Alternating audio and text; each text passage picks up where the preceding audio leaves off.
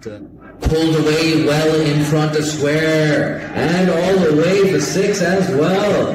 Nicholas Kirton, that's the shot of the day. Again, that's pitched up, but it's too straight on the legs. Whipped away. Just behind square on the leg side. Continue. That's nice and quick, but it's too straight and it's whipped away in front of square on the leg side. It races.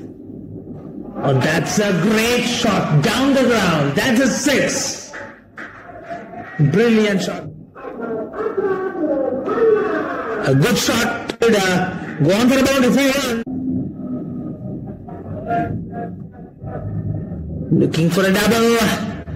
Yes, that's the half century for Nicholas Kirton.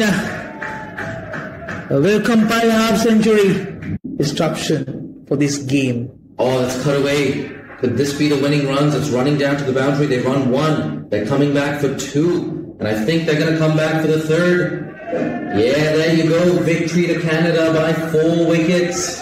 Nervous moments in that first power play, but Nicholas Kirton, 65 not out. That's one heck of an innings under pressure. He gets down on his haunches.